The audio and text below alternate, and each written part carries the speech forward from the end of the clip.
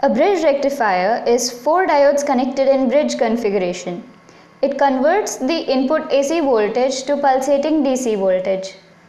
The transformer secondary is connected to diametrically opposite points and the load resistance is connected to the other two points.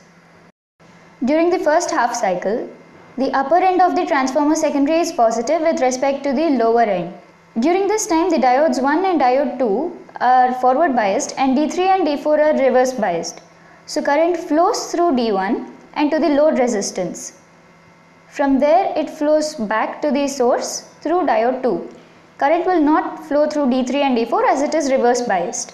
During the second half cycle, the lower end of the transformer secondary is positive with respect to the upper end and diodes D3 and D4 are forward biased and D1 and D2 are reverse biased. So current flows through D4 to the load resistance and flows back to the source through D3.